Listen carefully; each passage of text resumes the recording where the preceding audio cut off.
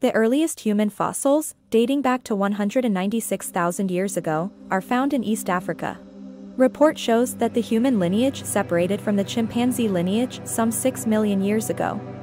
However, it might be challenging to identify the specific ape species that served as our direct ancestor.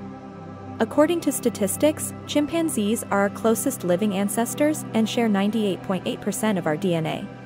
Australopithecines around 4.5 million years ago, in eastern Africa, a group of early human ancestors began to emerge. After them Homo habilis evolved from the Australopithecus species. Being intelligent they figured out how to produce stone tools. Then came Homo erectus, which was the first ancient human ancestor to have a body proportion similar to ours after evolving from the two preceding species. But how did modern humans spread over the entire planet? Funny as it sounds, but they walked after leaving East Africa,